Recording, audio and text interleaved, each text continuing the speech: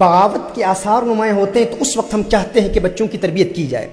जब बच्चा दो साल का है, तीन साल का है, चार साल का है, वो शरारतें कर रहा है।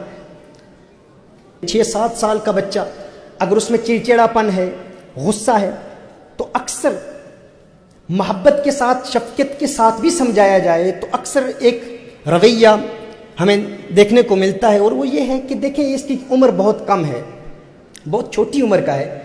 वक्त आएगा तो फिर इसकी तरबियत करेंगे।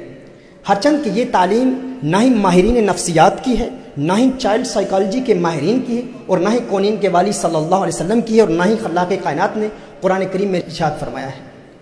याद रखें मोहतरमा ही बस सबसे पहला पॉइंट ये है। आप अपने बच्चों को जो बनाना चाहते हैं, आप उनको कहकर कुछ नहीं बना सकते।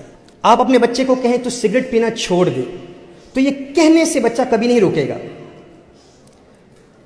तमाम माहरीन नफ्सियात का इस बात पर इत्तेफाक है कि अगर वालदेन अपने बच्चे के मुरब्बी बनना चाहते हैं तो कहने से उनकी तरबियत नहीं होती।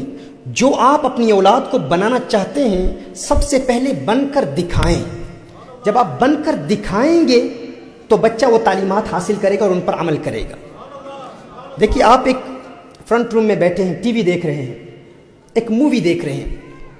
आपका बच्चा कमरे में आता है, कोई ऐसा सीन आ जाता है, आप चाहते हैं कि बच्चा ना देखे, हिचकिचाहट महसूस करते हैं। आप बच्चे से फ़ौरन कहते हैं कि आप कमरे से बाहर चले जाएँ, आप अभी छोटे हैं, आपकी ये उम्र नहीं है। अब इसमें हम क्या तासुर दे रहे हैं? हम गोया कि ये कह रहे हैं कि है मेरे बेटे, तू जब बड़ा हो जाएगा, फिर ये देख लेना, अब ये तेरी उम्र नहीं है। यानी अगर वालिद साहब खुद ऐसी मूवीज़ देख रहे हूँ, वालदा खुद ऐसी मूवीज़ देख रही हूँ, जो अपनी औलाद के लिए नापसंद करती हैं या नापसंद करता है तो ये ख्याल आपका बहुत गलत है। यह आपकी कजफहमी है, खाम ख्याली है, कम अकली है कि आपकी औलाद उस गुनाह से इज्तनाब करेगी। अगर वालद दिल में महसूस करता है कि मेरा छोटा बच्चा या वालदा महसूस करती है कि मेरी बच्ची ऐसे मनाजिर न देखे, ऐसे सीन्स न देखे तो सबसे पहले उसे अपनी ख्वाहिशात को कुर्बान करना होगा। आप अपने आप को झूठी तसल्ली दे रहे हैं कि मैं कमरे में छुप कर मूवीज़ देख लूँगा, या मैं किसी ऐसे गुनाह का इरतकब कर लूँगा जो छुप के किया जा सकता है। याद रखें यह हरगिज मुमकिन नहीं है कि आप अपनी ख्वाहिशात को भी कायम रखें। अपनी ख्वाहिशात की प्यास भी बुझाते रहें और फिर यह तस्वुर करें कि मेरी औलाद मेरी पैरवी करेगी। ऐसा नहीं होता। ऐसा नामुमकिन है। बहुत मुश्किल है। अगर हो तो एक्सेप्शन है। ये लो नहीं है, ये कानून नहीं है। तो सबसे पहला जो कदम हमने उठाना है, वो ये है कि अपने अंदर तब्दीली पैदा करनी है। अगर आप चाहते हैं कि आपके बच्चे में तब्दीली पैदा हो तो सबसे पहले अपनी ख्वाहिशात को कुर्बान करना है। ये पहला स्टेप है। ये बच्चा एक कोरे कागज़ की मानंद होता है, इमाम गजाली रहमत तरशाद फरमाते हैं, ये बच्चा गीली छड़ी की मानंद है। जब तक ये छड़ी गीली रहती है, आप इसे जिधर मोड़ना चाहेंगे मुड़ जाएगी, जिधर फेरना चाहेंगे फिर जाएगी। लेकिन अगर ये छड़ी सूख गई, फिर आप इसे मोड़ेंगे तो ये टूट जाएगी।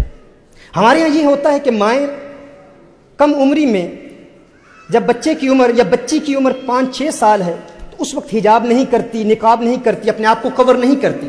लेकिन जब एक ऐसा वक्त आता है कि वो बच्ची में, बेटी में बगावत देखती है, लेकिन इस वक्त मैं एक बुनियादी असूल और कानून और जबता देना चाह रहा हूँ, वो ये कि अगर आप चाहते हैं कि आपकी बेटी हिजाब करे और शरीत मतहरा के वो बुनियादी कवानीन जो शरीत मतहरा ने हम पर लाजिम किए हैं, लेकिन माँ को अगर 40-50 साल की उम्र में 60 साल की उम्र में हिजाब की याद आए या ज़ाहरी इब्तदाई बुनियादी पर्दे की याद आए जब उसे कोई देखने वाली आँख भी ना हो और फिर वो ये सोचे कि अब मेरी बेटी मेरी पैरवी करेगी तो ऐसा मुमकिन नहीं होता।